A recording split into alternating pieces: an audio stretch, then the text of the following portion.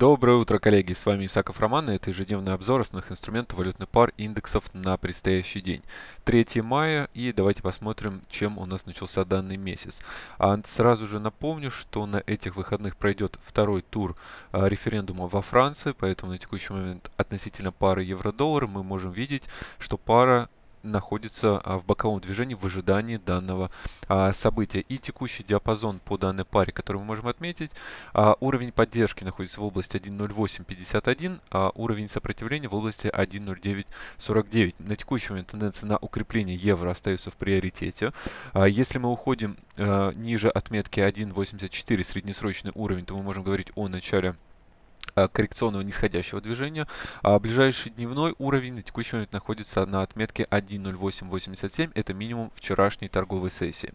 А пара британский фунт американский доллар также продолжает свое восходящее движение. И на текущий момент уровень поддержки мы можем отметить в области 1.2865. Это минимум, который был зафиксирован вчера. Но уйти ниже минимума 27 апреля мы пока не смогли по данной паре. Поэтому на текущий момент, пока торгуемся выше данного значения, основной приоритет остается покупкам по данной а, паре. Пара австралийский доллар, американский доллар сегодня с открытия уходит ниже а, уровня 0.75 100 это минимум, который был зафиксирован вчера после обновления локальных максимумов, поэтому на текущий момент мы можем говорить о смене а, краткосрочной тенденции с восходящей на нисходящую. И ближайший разворотный уровень по данной ситуации находится на максимум вчерашней торговой сессии в области 75-55.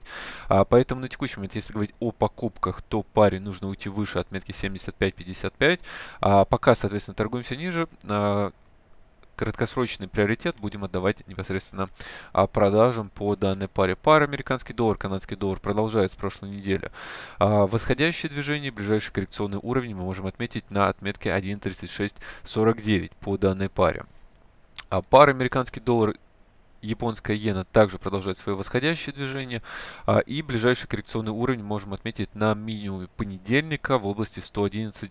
А, Пока торгуемся, соответственно, выше данного значения, тенденция остается на укрепление американского доллара по отношению к японской иене.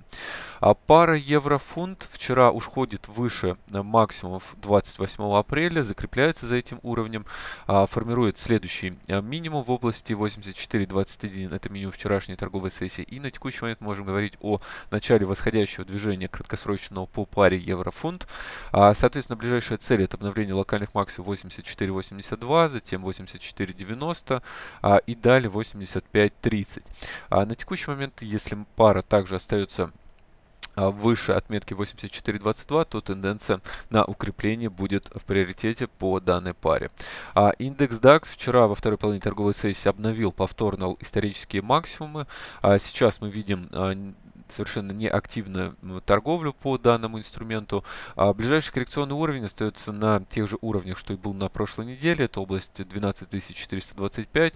А, соответственно, на текущий момент приоритет на укрепление индекса DAX сохраняется, но так как мы находимся на исторических максимумах, а, вполне вероятно а, коррекция по данному инструменту с последующим продолжением. Коррекцию мы с вами сможем отслеживать после обновления локальных минимумов а, в области 12425. А золото продолжает свое нисходящее движение. Вчера дошли до локальных минимумов в области 1252 доллара за тройскую унцию.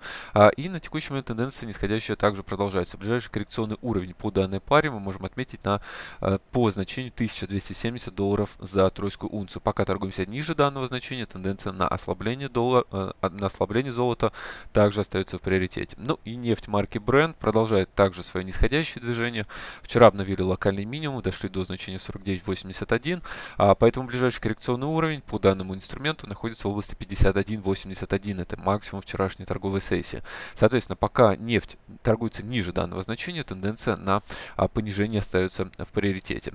А, индекс доллара также замер в боковом движении практически тот же, тот же самый диапазон, который был после а, первого тура выборов а, во Франции. А, на текущий момент это диапазон 99-19 верхняя граница и 98-58 граница нижняя. Основная тенденция остается на понижение, но для следующего импульса нам необходимо увидеть уход ниже отметки 98-56. Итак, коллеги, всем спасибо за внимание. Напомню, что сегодня состоится наш а, еженедельный вебинар в 19.00. А всех вас на нем буду ждать. Зарегистрироваться вы можете по ссылке, а, которую можно найти под видео, либо на сайте Admiral Markets. Всем спасибо за внимание и увидимся на вебинаре.